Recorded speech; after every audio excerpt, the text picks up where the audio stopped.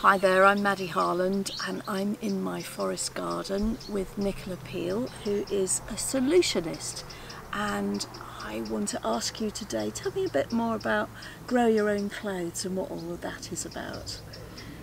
Well, I mean, Maddy, you know, we, we all know about grow our own food. Absolutely. But grow our own clothes. Grow we're our not own really houses. talking about that. Grow our own houses, No. yeah. Grow our own clothes. This is this is where we're going. Okay. Because I think that you know we're becoming aware that the fashion industry, after the oil and gas industry, fossil fuels, is the second most polluting industry on the planet.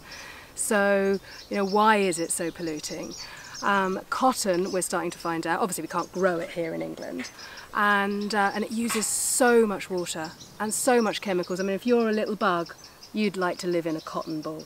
And so a huge amount of pesticide has to be used, huge amounts of water, and then the dyes, some places their rivers are running green and blue and purple and so it's not really working, the fashion industry at the moment, and so we're looking at alternatives of how can we here in England start to grow more of our own clothes. And, and one of these ways is through kombucha, the kombucha mushroom. So the kombucha mushroom grows like a kind of a leather. And um, I've just joined up with Stella McCartney and started creating some like, you know, new clothes made out of the, the spider's thread, um, which is, you know, human-made spider silk and kombucha. So these two ways of being, we could grow them here and be able to make our own clothes on site. So this way we would then have kind of zero mileage. We could be able to, you know, grow our own kombucha here and if we knew how to thread it and actually cut it and sew it, we could actually make our own clothes. And, and coming back into looking at dyes, you know, this top I've got on here is made from indigo and wars were fought for this colour. And we've forgotten about the beauty of natural dyes because chemical dyes are cheap and easy. And that's what the world is running on right now.